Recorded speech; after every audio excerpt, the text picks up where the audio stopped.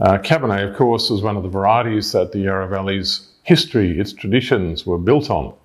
And some of the first wines from the Yarra Valley that turned heads and made headlines were Cabernet Sauvignons and Cabernet based blends. I'm Huon Hooke, and you're watching The Real Review. So, we're about to taste the Payne's Rise Cabernet Sauvignon. Payne's Rise is a newish winery, it's only been around for a bit over 20 years. It's in the Seville region, which is a little bit to, off to one side of the Yarra Valley, a slightly cooler uh, sub-region of the Yarra, if you like. Um, the uh, the vineyard is uh, is cultivated by the Cullen family, and the wines are made by Hoddles Creek winemaker Franco D'Anna, who has quite a um, a very lofty reputation as a winemaker in the Yarra Valley.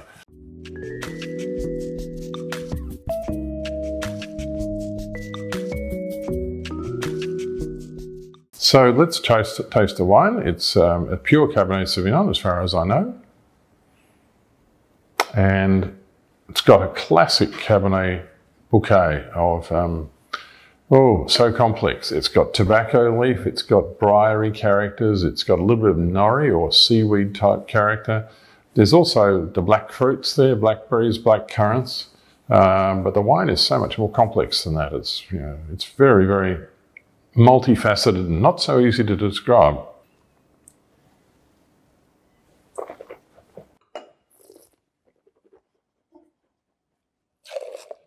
Hmm. And again, typical of the Yarra Valley Cabernet, it's not a big wine.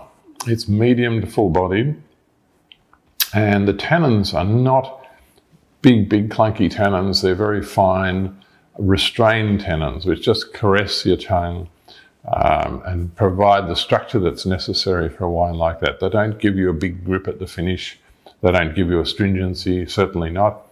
Um, beautifully balanced tannins. The acidity is there, but it's not particularly noticeable as it should be. It's just understated. Um, the wine has got lovely flavours and good texture and good length. We scored it 92 and we've given it a 10 year drinking window. So um, obviously, it will last longer than that if it's well cellared, but I think between now and 10 years' time, you'll get the best of it. It's only $35 a bottle, so it's not outrageously expensive at all.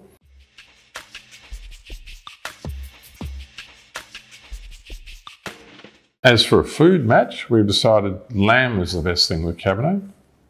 Even if you go to Bordeaux, the home of Cabernet, they often serve lamb with, uh, with their red wines.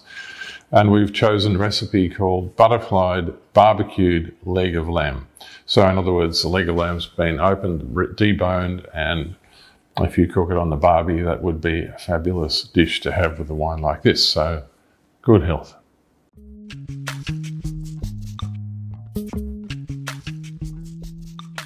If you've enjoyed this, follow us and subscribe to The Real Review.